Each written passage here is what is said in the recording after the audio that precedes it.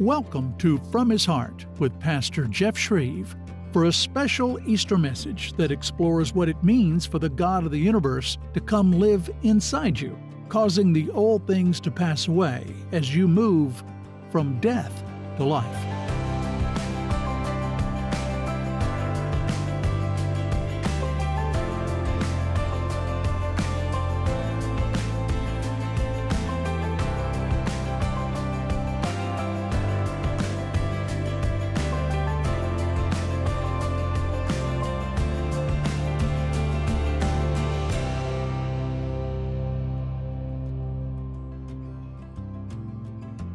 Well, it was about a year ago that uh, Tim Wildmon, the president of American Family Association, uh, asked me if I would uh, do a radio program on American Family Radio.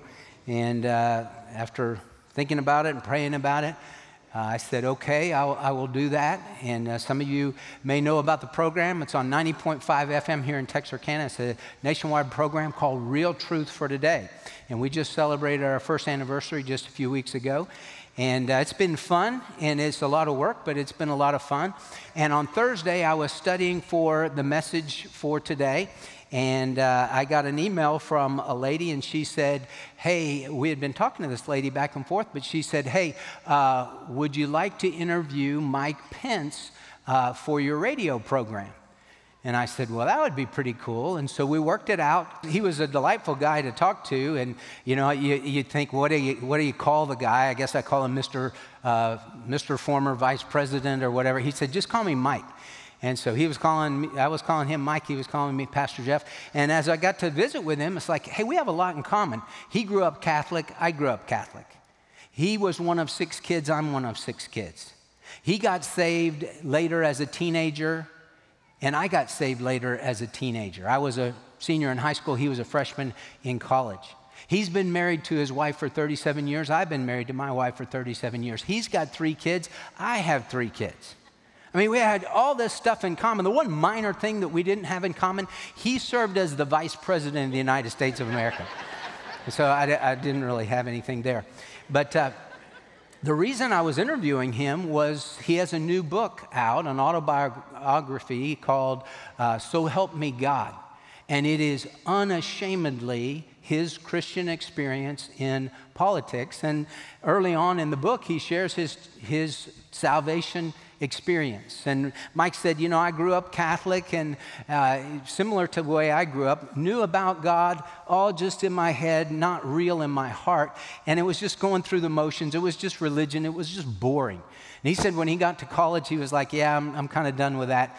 But he got introduced to some Christian guys and he got uh, to know these guys. They befriended him. And uh, so he was asking them questions because he knew there's something different about these guys. And he said one, one thing happened to him that really was uh, life altering. He said he was talking to his friend John, and John wore a cross around his neck because he was a, a very outspoken Christian. Mike said to him, Hey, John, I need to find out where you got that cross because I need to get one too. And he said, John looked at, at him and said, Hey, you know what, Mike? You got to wear it on your heart before you wear it on your neck. And Mike said, Man, that was like getting hit with a baseball bat. Because all of a sudden, it's like, hey, this facade of being a Christian, uh, this guy sees through me, and now I know that, that I'm not a Christian, and uh, the Lord's made that clear to me. And he said it wasn't long after that, in April, that he went to a, uh, a, Christian festival that was at Asbury University in Wilmore, Kentucky. That's where you've been reading about the revivals. Well, this was in 1978, and he's there, and he said they were, there were bands playing and then someone preaching, and he said, When I heard the message, it was uh, finally became real to me. And so this is what he writes in his book, So Help Me God. I truly heard the words of John 3:16. All the music stopped and there was an altar call. I stood up and walked down the hill, not just because I was convinced in my mind of the truth of the gospel, but because my heart was broken with gratitude for what Jesus had done for me on the cross. I found a volunteer counselor and prayed to receive Jesus Christ as my personal Lord and Savior. It was a moment of decision that changed my life forever. I was born again. The old me was gone. And I felt forgiveness and a newness of life that is difficult to put into words. From that day forward, I felt that my life was not my own. I had been bought with a price, and whatever was to come, I would live out my faith in Jesus Christ and follow him wherever he led, no matter the cost. I thought that was an awesome testimony. His life had been changed by the power of the gospel of Jesus Christ.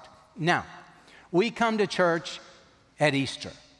That is the most highly attended Sunday of the year in our church, in every church around the world. People come on Easter. Now, sometimes they don't come any other time, they just come at Easter, maybe at Christmas, but Easter is the big Sunday.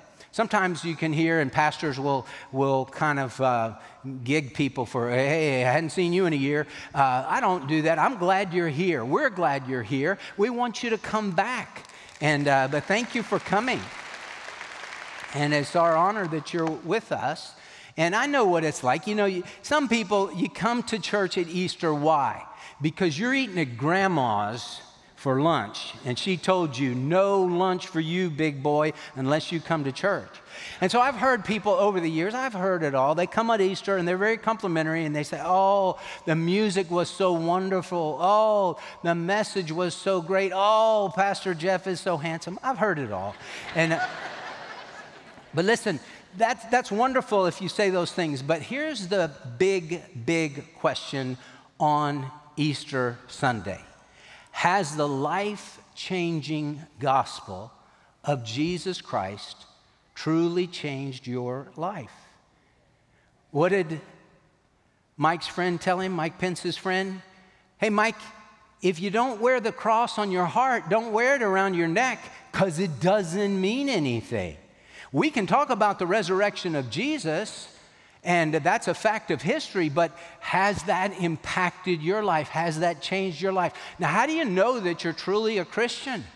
The way that you know that you're truly a Christian, that you've truly come into a personal relationship with Jesus, is your life changes my testimony as a 17 year old high school senior when I gave my life to Christ, and I didn't understand a lot about what that exactly meant, but my life could not stay the same. Why? Because the God of the universe came to live inside of me. And when the God of the universe comes to live inside of you, He changes you. You're under new management, and the old things passed away. Behold, new things have come. So, has the life changing gospel really changed your life. I want to share with you three truths for this Easter Sunday morning. Three truths about the gospel of Jesus Christ. Truth number one the gospel of Jesus Christ is often misunderstood. So many people don't understand what the gospel is. They say, well, the gospel of Jesus Christ, that's, uh, that's doing good to the poor. No, that's not the gospel of Jesus Christ. Oh, no, no. The gospel of Jesus Christ is loving your neighbor as yourself. No, that's not the gospel of Jesus Christ. Well, well, the gospel of Jesus Christ is, is letting your light shine among men. No, that's not the gospel of Jesus Christ. It's not that those things are bad, those things are good, but that's not the gospel. Paul defines the gospel in 1 Corinthians chapter 15, and he says this now I make known to you, brethren, the gospel. euangelion in the Greek, it means good news. I make known to you the good news which I preached to you, which also you received, in which also you stand, by which also you are saved, if you hold fast the word which I preached to you, unless you believed in vain. For I received, uh, delivered to you as of first importance what I also received that Christ died for our sins according to the scriptures, and that he was buried, and that he was raised on the third day according to the scriptures. That is the gospel. That Christ died for our sins according to the scriptures, that he was buried, and that he was raised on the third day according to the scriptures. So, how do we understand the gospel? Because the devil is going to try and work to confuse you about the gospel understand that Jesus came to earth to die as a sacrifice for sin. That was his purpose for coming. And you say, well, Jesus came to heal the sick. Well, he did that, but that wasn't his purpose for coming. Jesus came to raise the dead. Well, he did that, but that wasn't his purpose for coming. Jesus came to cleanse the leper. Well, he did that, but that wasn't his purpose for coming. He came, to, to feed the multitudes with the little kids' lunch. He did that, but that wasn't his purpose for coming. His purpose for coming, he says in Mark 10 45, for even the Son of Man did not come to be served. Why did I come? But to serve and to give his life a ransom for many. To give his life on the cross. That was his purpose for coming. In John chapter 1, verse 29, John the Baptist, you remember John the Baptist had a huge ministry. Everybody came to John the Baptist. But uh, John the Baptist said, uh, when Jesus came on the scene, he must increase and I must decrease. And he pointed the way to Jesus and he said, Behold, the Lamb of God who takes away the sin of the world. That was his purpose to take away the sin of the world, to die as a sacrifice for your sin, for my sin, for our sin, for the sins of the whole world. So of first importance is the gospel. Jesus died for our sins according to the scriptures. But he didn't stay dead. He was buried and then he rose again from the dead. And Jesus rose from the dead and conquered death and hell. Now it said he did that, rose on the third day. Some people have a real hard time with that and they say, ah, it doesn't, the math doesn't work. You know, I've, I've added it up, the hours, it doesn't work. You got to remember how the Jews thought any part of a day constitutes a day. So Jesus died at 3 p.m. on Friday at the exact time that the priest would slit the throats of the Passover lambs. That's when he died. And he breathed his last and said, It is finished, Father, into your hands I commit my spirit. And he died. And they took him off the cross uh, and they put him in the tomb. He was in the tomb before six o'clock. Remember, six o'clock. Their days are not like ours. We mark ours from 12 to 12. They marked theirs from 6 to 6. So that was 6 p.m. is a new day. So Jesus is in the tomb by 5 p.m., which is Friday. He's in the tomb at 6 p.m. all of Saturday. Well, Sunday begins at 6 p.m. on Saturday is Sunday. He's in the tomb on Sunday. He's in the tomb for three days because any part of a day constitutes a day. Well, on Sunday morning, early, he rises from the dead and he conquered death and hell. Now, John, the uh, gospel writer and the revelator in the book of Revelation, he's exiled on the island of Patmos. The year is about 95 AD, and he sees the resurrected, glorified Jesus. And John said, When I saw him, I fell at his feet as a dead man. And this is what Jesus said to him Do not be afraid. I am the first and the last and the living one. And I was dead, and behold, I'm alive forevermore, and I have the keys of death and of Hades. He conquered death, he conquered Hades or hell. He's the only one to have ever done that. You know, there are other people in the Bible who died, and Jesus raised them from the dead. I can think of three. You have Jairus' daughter, the little 12 year old girl. She was freshly dead. She was still warm to the touch, but she had died. Don't trouble the teacher anymore. Your daughter has died. But Jesus raised her from the dead. The second person he encountered who was dead was the widow from Nain, N A I N, a little town called Nain. And uh, they were having the funeral procession. This guy was cold and dead. And uh, Jesus stopped the funeral procession, touched the, the casket, and boom, he was made alive. Then the third guy, so you have warm and dead, you have cold and dead, and you have Lazarus, he is stinking dead. He's been dead for four days. Jesus raised him from the dead. And all three of those folks died again. Jesus is the only one who died and rose again, and he's alive forever evermore, and He has the keys of death and of hell. So we can rejoice in that.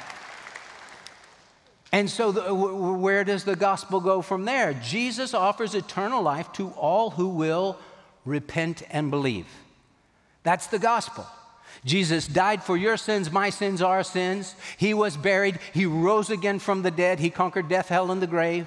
And He offers eternal life forever in heaven with Him. Abundant life right here on this earth, right now, for all those who will simply repent. That means turn from the way you're going and believe. Turn from sin, turn from self, and turn to Him and believe. Eternal life is not something you earn, you can't earn it. For by grace you've been saved through faith, and that not of yourselves. It is the gift of God, not as a result of works, lest any man should boast. It's not something you earn, it's something you receive by faith.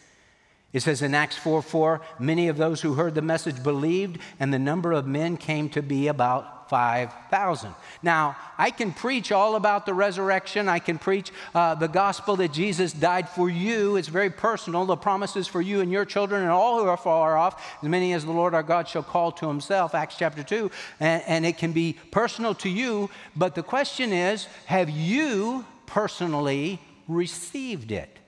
So many people come to church at, at Easter time and they've never received it. They wear the cross on their neck, but they don't wear it in their heart. What was the testimony that Brian just gave us when one of the dear ladies, Miss Grayson, who got baptized? She was on a mission trip. She was telling people about Jesus, and she realized, I don't have a personal relationship with Jesus. And she gave her heart to Christ. Hey, the Bible says in Hebrews chapter 4, verse 2 For indeed, we have had good news preached to us, just as they also, but the word they heard did not profit them because it was not united by faith in those who heard it. What is the ingredient that gets you to heaven? What, how do you receive Christ? By faith. By faith. You put your puny little hand of faith in God's great big hand of grace, and He pulls you up from the pit, so to speak, and puts your feet on a rock, making your footsteps firm. So, the gospel of Jesus Christ, often misunderstood. And how do we get it confused? We think it's related to works. We think we work for it. We're going to earn our way to heaven. No, you won't. If it is by grace, Romans 11, verse 6, for if it is by grace, the unmerited favor of God, it is no longer on the basis of works. Otherwise, grace is no longer grace. The moment that you add any works to grace, you destroy the whole concept of grace. It's all of grace, and we put our faith and trust in God's grace. So often misunderstood. Second truth the gospel of Jesus Christ is always disturbing to the world always disturbing to the world. Now, in the book of Acts, such a great book, you know, Luke wrote the Gospel of Luke and he also wrote the book of Acts. In seminary, uh, you, you'll take a class that's called Luke Acts because same author. And uh, Luke tells us what Jesus began to do and teach, and then he tells in the Acts, we call it the Acts of the Apostles, it's the Acts of Jesus through the Apostles, what happened after Jesus ascended to heaven. So, Acts chapter 1, Jesus is with the disciples. Remember, he was with them for about 40 days. Uh, right at 40 days. And, uh, and he was talking to them and teaching them, and he proved to them, the Bible says, with many convincing proofs, that he was really resurrected from the grave. They knew that. I mean, they saw him, they touched him, they ate with him, they talked to him. Remember, Thomas wouldn't believe unless I see uh, the nail prints and put my finger in the nail prints and put my hand in his side, I will not believe. And Jesus appeared to Thomas. We call him Doubting Thomas. And Thomas saw and he said, Go ahead, Thomas, put your fingers in my hands, put your hand in my side. Be not unbelieving, but believing. And Thomas said, My Lord and my God. Thomas ended up getting killed for his faith in Christ because he knew that Jesus Christ had risen from the dead. So many convincing proofs. And Jesus told these guys listen, you stay in Jerusalem until you receive the promise of the Father, which is the Holy Spirit. And so they were going to wait. He's going to come in just 10 days. And so they waited. Acts chapter 2, what happens? The day of Pentecost, the Holy Spirit comes. And these guys are filled, 120 believers in that upper room. They are now filled with the Holy Spirit. It's not that the Holy Spirit just came upon them, the Holy Spirit came to live inside of them. And Peter, the same guy who denied Jesus three times, all of a sudden now he stands up and he delivers a sermon that is powerful and is pointed and calls people out and calls people to repentance. And people respond, and 3,000 were saved and baptized. And then Acts chapter 3. What do you have? You have Peter and John, and they're going up to the temple to pray at the, at the hour of prayer, which is three o'clock. And they go to pray, and there's this beggar there. He's been crippled from his mother's womb. He's 40 years old. And they just, they would put him there every day. Well, take him to the, the gate called Beautiful and let him beg because he can't do anything else. And so he's begging there, and Peter sees him and says, Look at us. And so he looks toward Peter and John, and Peter says, Silver and gold we don't have, but what we do have, we give to you. In the name of Jesus of Nazareth, rise up and walk. And this guy who has never walked in his whole life, 40 years old with uh, dead limbs and, and shriveled up muscles, and all of a sudden he takes him by the hand, he raises him up, and his legs are strengthened, and all of a sudden he's walking and leaping and praising God, and that creates a big stir as you can imagine. This is in the temple area where that happened. And all of a sudden, the people are like, Whoa, this is awesome. This is incredible. And Peter says, Let me tell you how this happened. It's not through me, it's not through John, it's through the name of Jesus, God's Son. And then he preaches the gospel. And he says, You know who Jesus was? He was the one, the Messiah, and you asked for Barabbas instead of Jesus. You traded uh, the Son of God for a murderer and you crucified the Prince of Life. Man, these are like, wow, that's so pointed, that hurts. But he says, listen, repent therefore and return in order that your sins may be wiped away, in order that times of refreshing may come from the presence of the Lord. He's preaching all this stuff, preaching the resurrection of Jesus. And then the chief priests and the temple guard and the religious leaders that oversaw what happened at the temple, they got wind of it. Acts chapter 4, verse 1. And as they were speaking to the people, the priests and the captain of the temple guard and the Sadducees came upon them, being greatly disturbed because they were teaching the people and proclaiming in Jesus the resurrection from the dead. And they laid hands on them and put them in jail until the next day, for it was already evening. But many of those who had heard the message believed, and the number of the men came to be about 5,000. And it came about on the next day that the rulers and elders and scribes were gathered together in Jerusalem. That's the Sanhedrin. And Annas the high priest was there, and Caiaphas and John and Alexander, and all who were of high priestly descent. And when they had placed them in the center, they began to inquire, By what power or in what name have you done this? They were greatly disturbed. The good news of Jesus disturbs people. You think about it. Evangelion, good news. How many times has good news really disturbed you? Hey, I, I got to tell you something. It is great news. Really? I don't want to hear that. That'll disturb me. I mean, that's just dumb, right? Why do people respond the way they respond to the good news? Because the good news is uh, prefaced by the bad news. The good news of a Savior is prefaced by the fact that you are a sinner. And see, here's the thing this is why it's always disturbing to the world because people hate to be exposed for their sin and false beliefs. They just hate it. Now, the Sadducees are mentioned here. The chief priests were all Sadducees. You have the two big groups you have the Pharisees and you have the Sadducees. The Pharisees are, they believe every part of the Old Testament. The Sadducees don't. They just believe the first five books Genesis, Exodus, uh, Leviticus, Numbers, Deuteronomy. And they say everything else, we just take it with a grain of salt. We're just the book of Moses. We're the Moses people. But the Pharisees believe all of it. Sadducees don't believe in the resurrection. The Pharisees believe in the resurrection and angels, and, and they believe in uh, uh, all the things that we would say we believe in. But the Sadducees didn't. The Sadducees controlled the temple, and they controlled the priesthood, and they were in cahoots with Rome. It was very, very corrupt. Very interesting as you do your study in the Gospels in the book of Acts, you'll find that Jesus had more trouble with the Pharisees, and the early church had more trouble with the Sadducees. Why? Because Jesus' ministry was not in Jerusalem primarily, it was primarily in the area of the Galilee up north. Headquarters was Capernaum.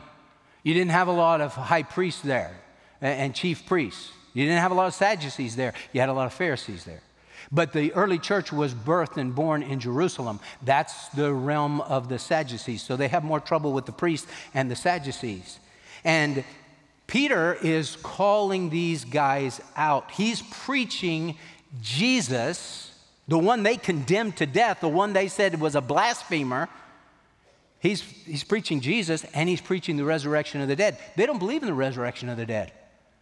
So they're really getting faced by this teaching. Oh, what you, you guys are saying this stuff, and then, and then you're saying that Jesus was murdered, and, and you're trying to pin that on us? They get upset. They're getting exposed, and people don't like to be exposed. This is what Jesus said in John chapter 3. And this is the judgment that light is come into the world. And men love the darkness rather than the light, for their deeds were evil. For everyone who does evil hates the light and does not come to the light, lest his deeds should be exposed.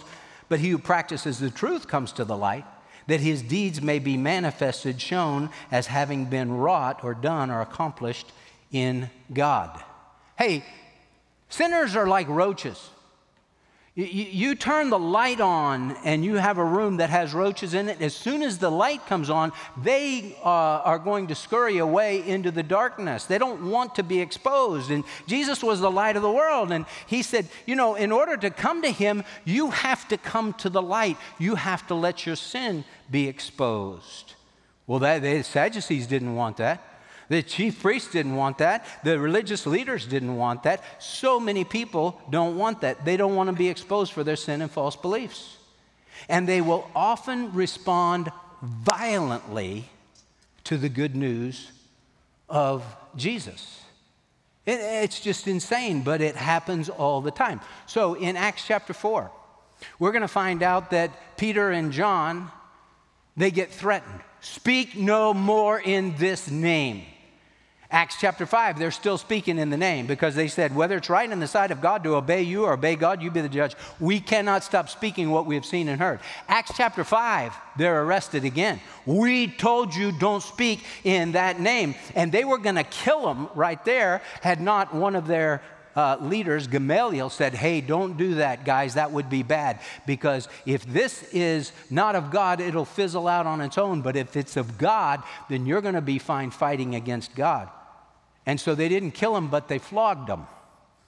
Then in Acts chapter 7, you have Stephen, one of the first seven deacons in Acts chapter 6. And Stephen was a powerful witness. And he is arrested and people bring false charges against him. He preaches a sermon in Acts chapter 7 and he calls the religious leaders out, you men who are stiff necked, always resisting the Holy Spirit. And it drove those people crazy. They began to gnash their teeth at him. You know what it means to gnash your teeth? That's what dogs do when they're getting ready to bite you. They start growling, and when they growl, they put their teeth together like that. That's what goes on in hell. They'll be weeping and gnashing of teeth, Jesus said. Well, they started gnashing their teeth at Stephen. And then they put their hands over their ears so that they wouldn't hear what he had to say. And they rushed upon him and pulled him out of the temple and stoned him to death.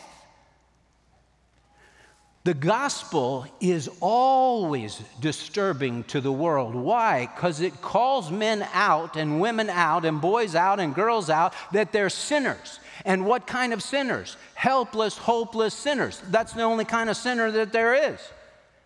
And so people want to feel good about themselves. Well, I'm a pretty good person. I'm a self-made man. Look what I've done. I, I really, uh, you know, have a great name in the community, and I'm, I'm moral and I'm upstanding. You're a sinner on the highway to hell without Jesus Christ. That's what the gospel tells us. It's bad news that leads us to the good news. And people say, well, where do you get off saying that? I'm not getting off anywhere. I didn't write the Bible. I'm just telling you what it says. I'm the delivery boy. Get mad at the author. Don't get mad at me. People get upset. Well, I don't want to believe that. Well, you can believe whatever you want. But there's a way that seems right to a man, and the end thereof is the way of death. It's important to believe the truth. And as we see today, truth is hate to those who hate the truth. And there are many today who hate the truth, who hate the true God, who hate the gospel of our Lord Jesus Christ. So it's often misunderstood, it's always disturbing to the world. And thirdly, the gospel of Jesus Christ is what really matters in life. Someone has well said if Jesus didn't rise from the dead, then what really matters? Nothing really matters.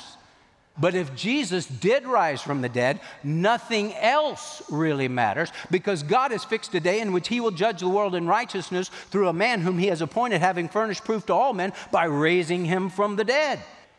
And when they bring Peter and John and the guy that was crippled for his whole life, they bring him and they put him in the middle of this uh, august assembly, and it's very intimidating. And they asked the question, verse 7, it's just teeing it up for Peter. And when they had placed them in the center, they began to inquire, By what power or in what name have you done this? What authority do you have to do what you're doing? Then Peter, filled with the Holy Spirit, said to them, Now watch this. Jesus had told these guys, And when they arrest you and deliver you up, don't be anxious about what you will say for the Lord, by His Spirit, will give you the words to say. It's not you who speak, but it's the Holy Spirit who will speak through you. And these are words from the Holy Spirit spoken through Peter. Peter, filled with the Holy Spirit, said to them, Rulers and elders of the people, if we are on trial today for a benefit done to a sick man, can you imagine being on trial for that? How dare you heal that man? If we are on trial today for a benefit done to a sick man as to how this man has been made well, let it be known to all of you and to all the people of Israel that by the name of Jesus Christ the Nazarene, whom you crucified, whom God raised from the dead, by this name, this man stands here before you in good health. He is the stone which was rejected by you, the builders, but which became the very cornerstone. And there is salvation in no one else. For there is no other name under heaven that has been given among men by which we must be saved. By the name of Jesus Christ. Now remember this Christ wasn't Jesus' last name. They knew him as Jesus of Nazareth. He is Jesus who is called Christ. Christ means anointed one, it means Messiah. Jesus, who is called the Messiah. And it's by the name of Jesus, who is called the Messiah, whom you guys crucified whom God raised from the dead. By this name, this man stands here before you in good health. Can you imagine? You are an uneducated fisherman. You, now, you, you spent three years, three and a half years with the Lord Jesus, so that is a major education, but you have no sheepskin for that. And, and they noticed that these guys were uneducated, untrained men. They're like, wow, these guys. You know what untrained means? It says that in verse 30. They noticed they were uneducated, untrained men. Untrained is the word uh, idiotes. We get our word idiot from that. They saw that these guys were idiots because they didn't have the, the training and the schoolwork. And they were amazed. Now, you get in front of all these muckety mucks and it's intimidating. These are the same guys that condemned Jesus to death.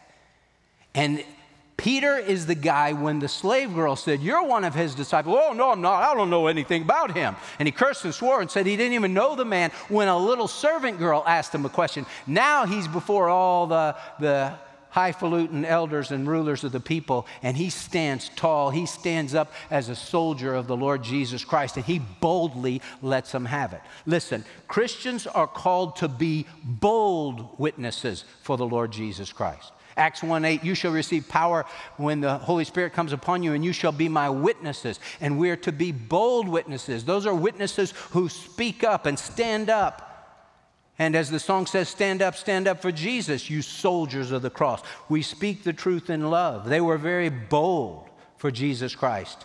And we're called not only to be bold for Jesus, we're called to make the message crystal clear. Crystal clear.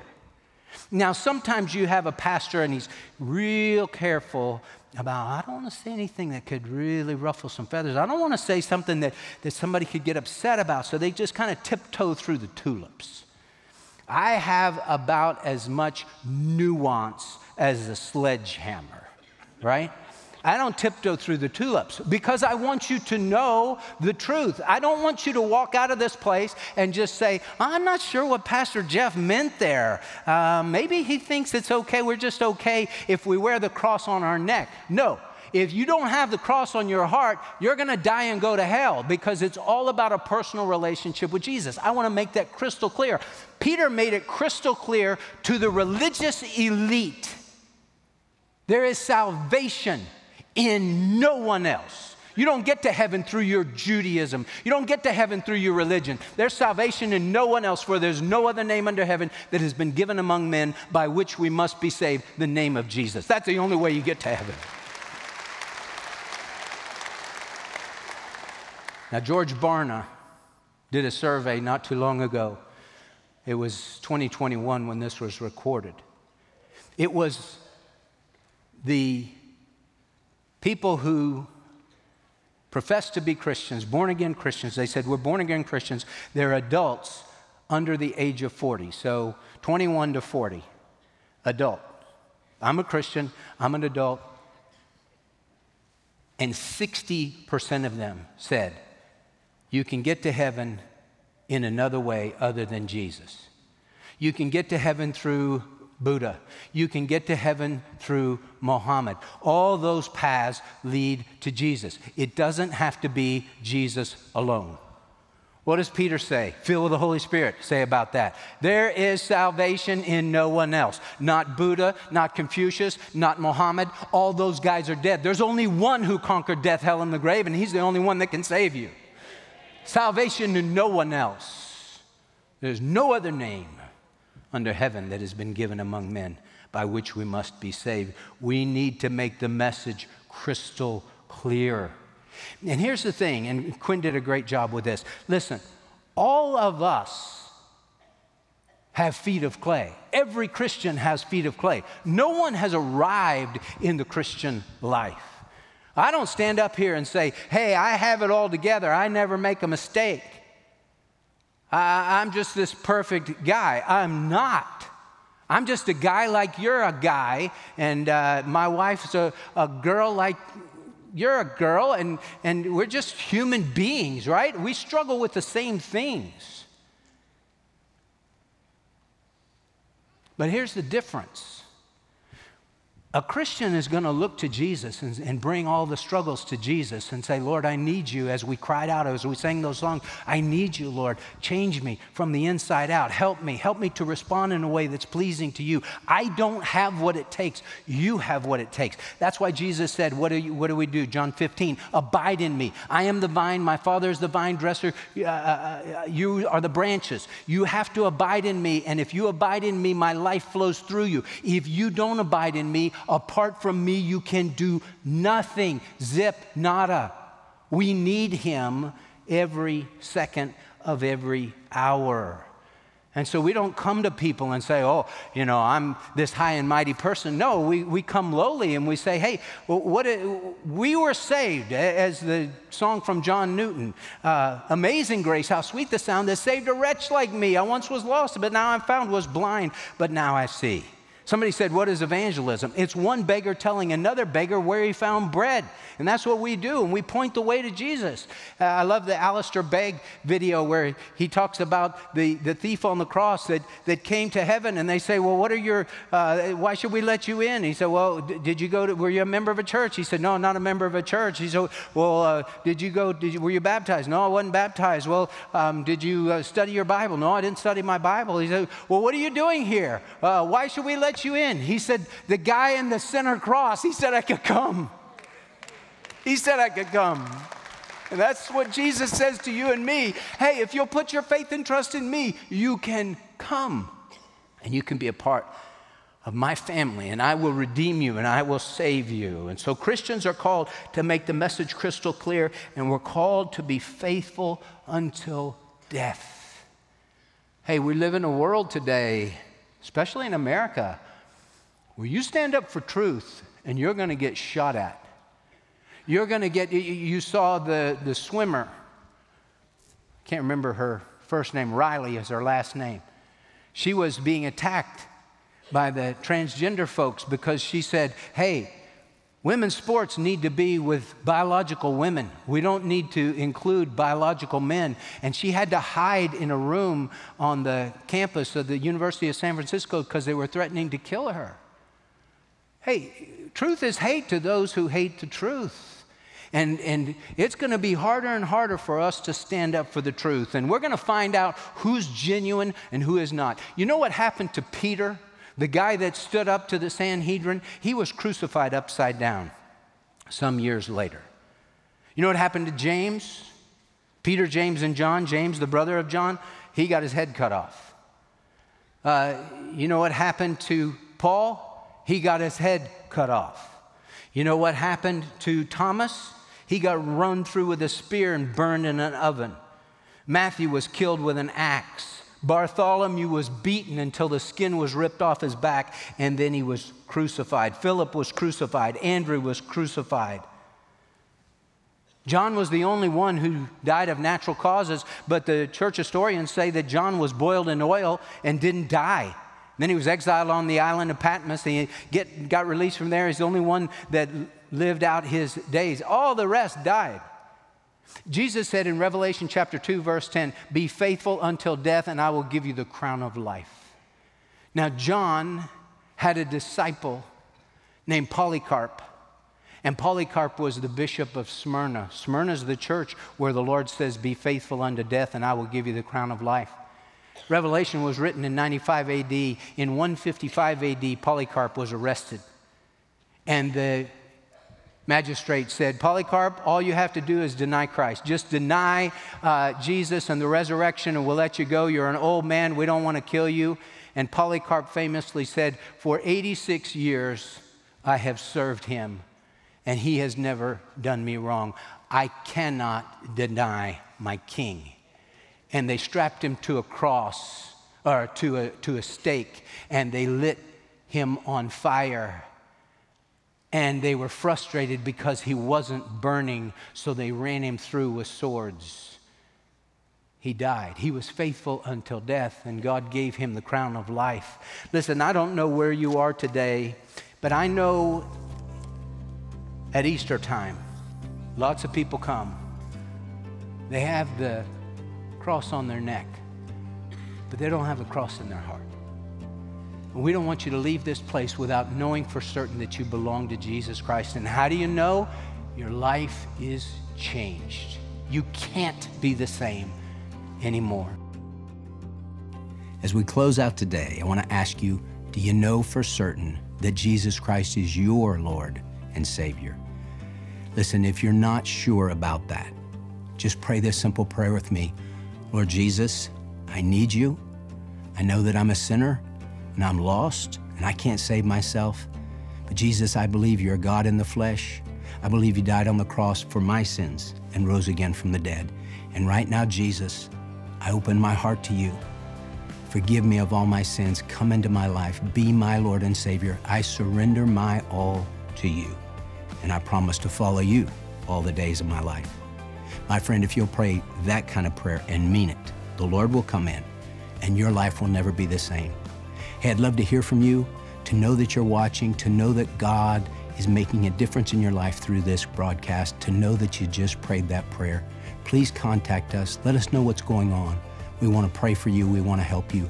You are important to God, and you're important to us, and we're here for you.